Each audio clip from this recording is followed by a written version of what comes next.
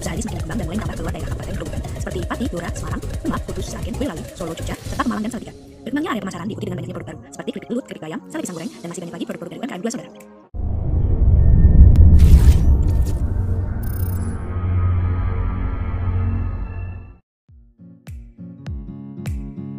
UKM Aneka Keripik dan Snack Dua Saudara.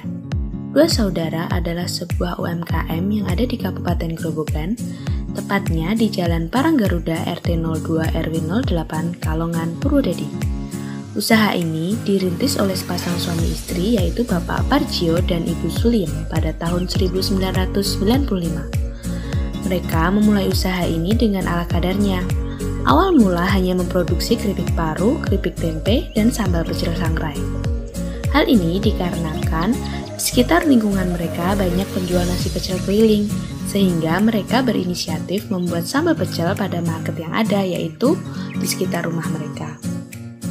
Sedikit demi sedikit, usaha ini pun berkembang. Setelah adanya pembinaan dari dinas-dinas terkait, perizinan usaha pun mulai dibuat, seperti perizinan dari Dinas Kesehatan, yaitu perizinan produksi atau PIRT yang dibuat pada tahun 1999 serta SIUP dan halal.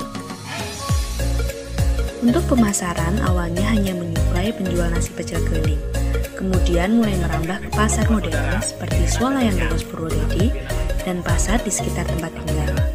Mengingat usia Bapak Parjio dan Ibu Sulim yang semakin tua, maka usaha ini perlahan dikembangkan oleh anak dan menantunya.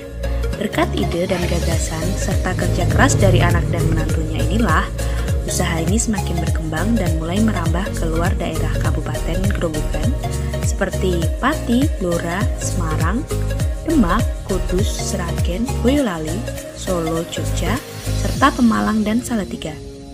Berkembangnya area pemasaran diikuti dengan banyaknya produk baru, seperti keripik belut, keripik bayam, sale pisang goreng, dan masih banyak lagi produk-produk dari UMKM Dua Saudara.